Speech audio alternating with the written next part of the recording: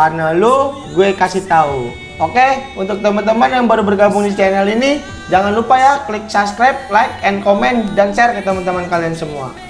Kali ini saya akan menjelaskan ya buat kalian semua terutama buat yang ingin mencoba untuk live streaming dengan menggunakan handphone dan laptop saja ya tanpa menggunakan alat-alat yang lain yang bisa dibilang harganya tuh udah lumayan mahal ya. Jadi kita di sini cuma cukup menggunakan handphone dan laptop. Jadi gimana caranya kita bermain game di handphone cuman tampilan gamenya itu keluar di laptop. Nah, jadi nanti kita juga bisa buat live streaming ya, entah itu buat di Facebook atau YouTube ya. Jadi di sini e, caranya tuh bisa dibilang biayanya juga nggak terlalu banyak ya. Kita cuma butuh laptop dan koneksi WiFi serta lap, e, handphone ya. Jadi di sini saya ada handphone. Satu handphone ini kita harus connect ke dalam satu wifi ya jadi laptop dan handphone yang saya akan pakai buat main game ini harus connect ke dalam satu wifi nah di sini saya pakai wifi rumah kebetulan ada wifi rumah jadi laptop dan handphone yang saya pakai buat main ini harus connect ke the wifi rumah ya. Jadi satu ke wifi rumah ya. Jangan jangan terpisah. Pertama-tama yang harus kalian lakukan tuh dari laptopnya kalian harus install yang namanya aplikasi app mirror ini ya. Apo Mirror. Ini kalian bisa download di dari Google atau searching aja di Google bisa. Setelah di laptop kalian udah terinstall app mirror ya. Jadi seperti ini ini kebetulan saya udah install ya udah tinggal uh, menggunakannya saja. Nah ini kalau bisa kalian nyari aplikasinya ini kalau bisa yang udah full ya berhubung di sini saya cuma buat tutorial jadi cuma buat memberikan contoh aja. Jadi di sini kebetulan saya masih trial ya jadi kita langsung continue aja. Nah ini nih aplikasi Apo Mirror ya jadi kalau udah diinstal terus untuk berikutnya dari lab dari handphone kalian pun yang kalian bakal nanti buat main game itu juga harus diinstal ya. Apo Mirror ya. Nah ini kebetulan juga saya udah nginstal dari handphone. Jadi kita tinggal klik aja Apo mirrornya. Nah ini udah udah connect ya. Dari handphone juga udah connect ke wifi. Sekarang kita tinggal scan dulu ya. Kita scan barcode nya jadi dari komputer eh laptop ini kita scan barcode yang ada di aplikasi di laptopnya ya ini caranya tinggal kita klik mirror klik mirror nah Nah, terus klik yang QR code. Nah, dari sini kita uh, scan ya, scan barcode yang aplikasi di laptopnya. Nah,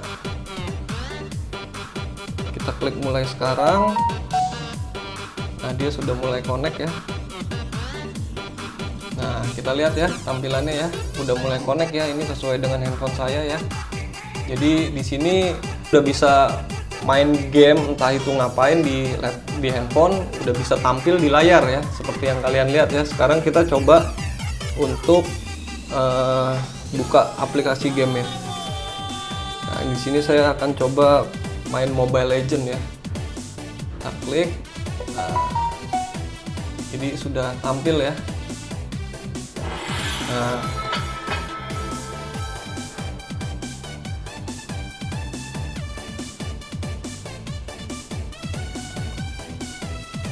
kita tunggu sebentar. Nah ini sudah kita udah bisa ya. Jadi kita tetap main di handphone cuma tampilannya di laptop.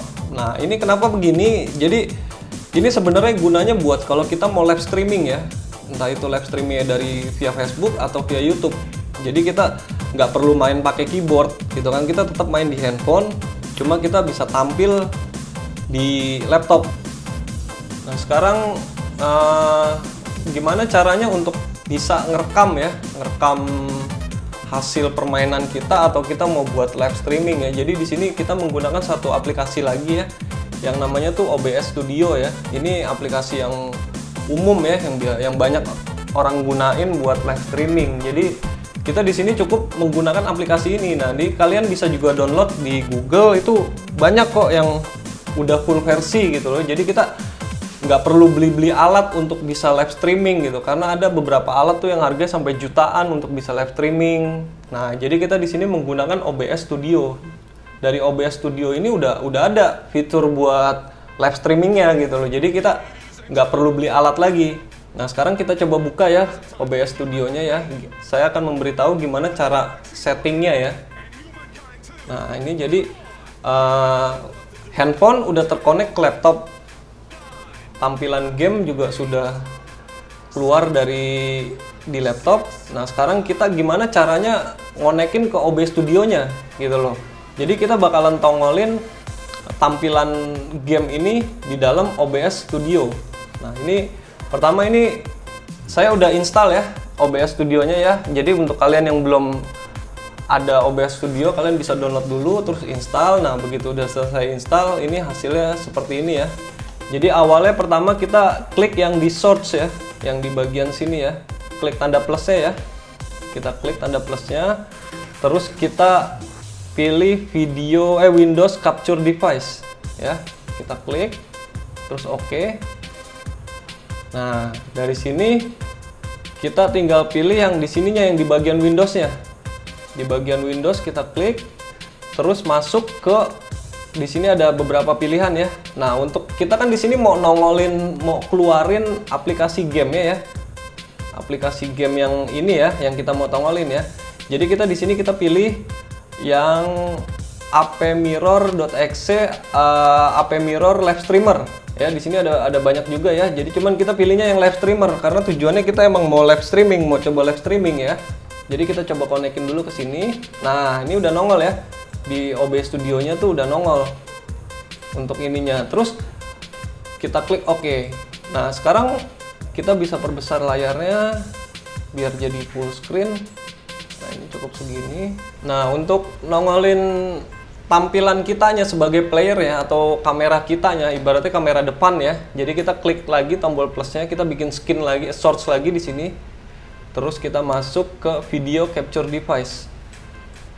Nah, ini kita klik OK. Nah, ini udah udah keluar ya tampilan kitanya ya, gambar kitanya ya. Nah, kalau misalnya buat kalian yang belum keluar mungkin dari sininya nih, device di bagian sininya itu jangan lupa diarahin ke USB webcam kita. Jadi, ada beberapa laptop yang nggak ada webcamnya. Nah, berhubung ini laptop saya ada webcamnya, jadi kita tinggal pilih. Nah, untuk kalian yang belum ada webcam bawaan dari laptopnya itu, kalian bisa beli webcam eksternal ya. Jadi ntar ketika udah kalian beli terus kalian install webcam eksternalnya, kalian tinggal pilih device-nya di sini untuk webcam kalian. Nah, ini saya bawa pakai webcam bawaan dari laptop ya. Jadi kita klik USB UPVC webcam terus langsung kita oke. Okay. Nah, dia akan keluar nih. Nah, ini uh, video capture device-nya udah kita tongolin ya. Jadi ini uh, wajah kita kok ketiban gitu loh ketiban sama tampilan game ya. Jadi untuk nongol ini gimana? Nah ini ini kalian lihat ya posisinya ya. Windows Capture ini di bagian atas. Sedangkan video capture device yang kita add setelahnya itu berada di posisi kedua. Nah makanya itu eh, tampilan webcamnya itu nggak nggak nggak terlihat. Ketutup sama tampilan game. Nah caranya gimana biar terlihat? Kita geser ke atas Nah, ketika source yang video capture device-nya udah di posisi atas, dia pasti nongol, pasti keluar di sini tampilannya. Nah, sekarang kita tinggal geser, biasanya sih uh, ya paling seginilah. Kita kecilin. Nah, di sini nggak bakal terganggu ya, karena kita tetap mainnya dari handphone. Nah, ini jadi cukup tampilan segini aja, atau mau kalian lebarin, atau mau taruh di posisi sini untuk untuk wajah kaliannya, terserah. Nah, jadi setelah sudah connect semua, aplikasi Apo Mirror sudah terkonek ke OBS-nya, kita bisa langsung start recording di bagian sini ya. Coba kita mulai start recording. Nah, dia udah udah mulai nge-save nih. Jadi dia udah mulai melakukan pengesavean data dengan aktivasi yang ada di tampilan OBS Studio-nya ini ya. Jadi kita save ini tujuannya apa? Ketika kita mau ngasih replay replay permainan atau replay percakapan ke teman-teman atau ke mana dan juga bisa untuk live streaming ya. Cuman untuk cara untuk live streamingnya saya akan memberikan tutorial di video berikutnya ya. Nah ini ketika kalian mau stop recording atau sudah selesai gitu permainannya kalian tinggal klik stop aja ya. Terus di mana sih default tempat nyimpen hasil savean yang tadi kita record. Nah dari sini tuh kita klik defaultnya ini ya. Jadi default ya tanpa dia tanpa dirubah-rubah ya. Ketika tanpa dirubah-rubah itu dia defaultnya langsung masuk ke video. Jadi ke my computer terus di sini ada video. Nah inilah. Nah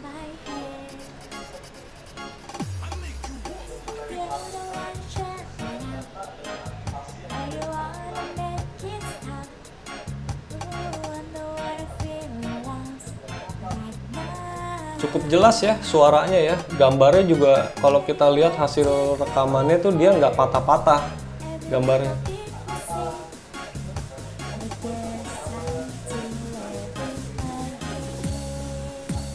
Jadi di sini saya akan coba memberikan coba bermain ya untuk membuktikan kepada kalian kalau hasil rekamannya itu gambarnya nggak patah-patah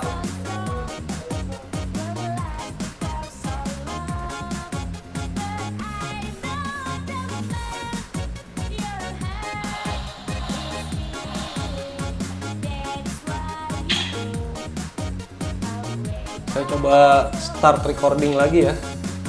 Untuk membu- membuktikan kepada kalian kalau hasil rekamannya dari OB Studio ini nggak bakal patah-patah. Dan itu nggak berpengaruh ya nggak berpengaruh sama laptopnya ya atau dengan eh, handphone anda ya nggak itu nggak ada pengaruhnya. Jadi pengaruhnya itu sebenarnya berdasarkan sinyal. Ketika sinyal anda bagus dia nggak bakal patah-patah. Nah jadi ketika gamenya ini patah-patah hasil rekamannya pun juga patah-patah gitu kan jadi itu semua pengaruh dengan koneksi wifi anda ya. Wifi kalian ya kalau emang wifi kalian bagus dia nggak bakalan patah-patah. Kecuali emang wifi anda wifi kalian itu rada-rada berat gitu ya. Jadi in game-nya aja kalian pasti patah-patah dan begitu hasil rekamannya juga pasti patah-patah. Nah jadi pengaruhnya tuh sebenarnya di wifi-nya bukan di masalah laptop. Kalian harus menggunakan laptop yang mahal yang yang udah spek bagus itu nggak nggak nggak perlu. Jadi semua itu pengaruhnya dari wifi-nya ya. Oke sekarang kita coba. Oke ini udah kita coba aja ya. Kita udah kita coba tonton lagi video rekamannya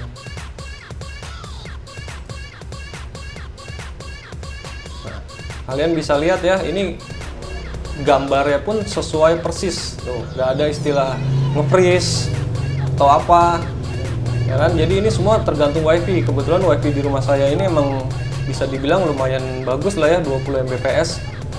Jadi koneksinya emang stabil. Dia nggak patah-patah. Hmm. nggak ada delay gitu loh. Ketika kita ngeklik dia langsung sesuai. Ini hasil rekamannya ya. Jadi sama persis dengan apa yang kita mainin di handphone. Oke, ini kalian udah bisa lihat. Kita coba ngerekam lagi. Ini saya udah coba bermain ya. Kita coba rekam lagi. Kita lihat hasilnya. Ini kalian bisa lihat ya dari OB OBS Studionya ini aja dia nggak nggak patah-patah gambarnya, ya.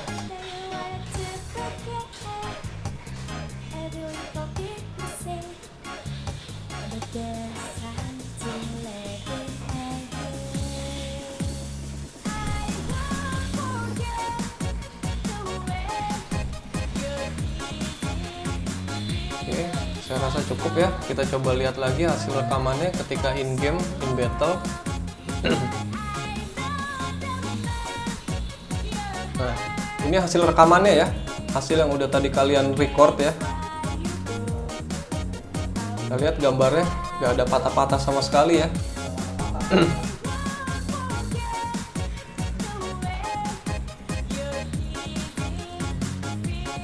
Kita lihat ukuran filenya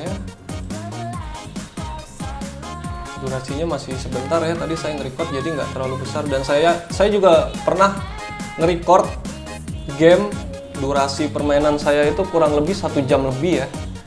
Satu jam lebih itu ukuran filenya ini juga nggak terlalu besar file hasil nge-save ya. Jadi ketika kalian sudah selesai record kalian mau coba upload ke YouTube atau ke media sosial kalian untuk untuk promosi ke teman-teman itu juga nggak terlalu makan memori jadi dia hasil recordnya ini nggak gede gitu loh jadi saya recommended banget lah untuk menggunakan untuk buat kalian yang live streaming atau mencoba merekam menggunakan aplikasi ini ya. Jadi dua aplikasinya yang kita pakai ya. Pertama AP Mirrornya di sini, terus yang keduanya OBS Studio ya. Dari dari OBS Studio ini kita juga bisa live streaming langsung ke Facebook atau YouTube. Jadi sekian video dari saya buat kalian yang ingin bertanya-tanya yang masih belum bisa gimana cara konekinnya kalian bisa komen di kolom komentar saya ya. Saya akan coba memberikan penjelasan yang lebih detail dan saya rasa ini juga penjelasan saya juga udah lebih detail udah detail sekali ya. Terus untuk masalah setting dari OBS studionya di sini saya nggak nggak akan memberikan penjelasan ke arah situ ya. Jadi kalian bisa cari-cari sendiri. Ini sih di sini banyak settingan-settingannya ya. Jadi kalian bisa cari-cari sendiri. Di sini saya cuma memberikan bagaimana caranya kalian tuh bisa connect gitu kan? Bisa terhubung ke OBS Studio ini. Oke sekian dan terima kasih. Sampai berjumpa di video berikutnya.